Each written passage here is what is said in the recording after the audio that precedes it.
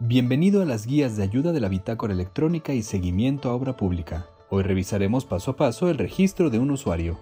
Para esto deberás ingresar al sistema con el perfil de administrador local. Antes de empezar, recuerda que la bitácora electrónica BSOP funciona en cualquier navegador de Internet, así que podrás utilizarla desde tus dispositivos móviles. Ingresa a esta dirección en la barra del explorador. Cuando aparezca esta pantalla, escribe tu RFC con clave en el campo de usuario e ingresa la contraseña que recibiste por parte de tu administrador del ente público y haz clic en Entrar. Selecciona el rol a utilizar, en este caso administrador local, y haz clic en Aceptar. Al iniciar sesión como administrador local se mostrará el portafolio de servicios a los cuales tienes acceso. Haremos clic en Administrar usuarios. Se abre la búsqueda de usuarios.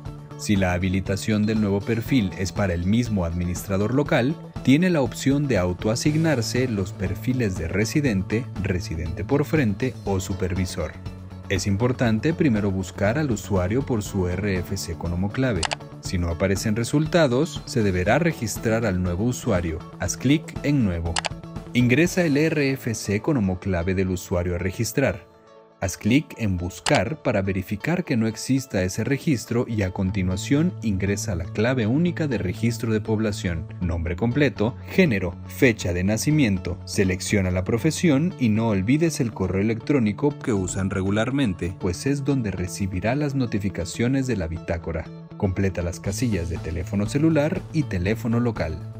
Ingresa su dirección empezando por el código postal, selecciona las opciones y completa los campos obligatorios. En la sección Datos del usuario aparece su RFC como usuario y su contraseña. Te recomiendo que la anotes aparte para tenerla como respaldo.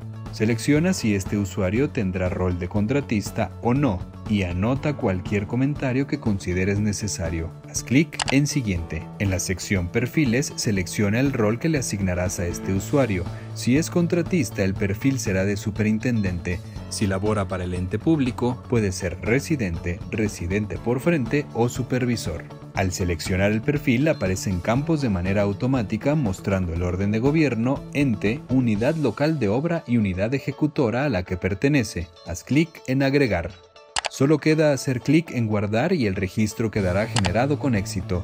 Haz clic en Aceptar. No olvides hacer clic en Imprimir para descargar el PDF con la información del perfil, su clave y contraseña. Estos datos son los que se deberán enviar al usuario. Y para terminar, haz clic en Salir. Has concluido el registro del usuario.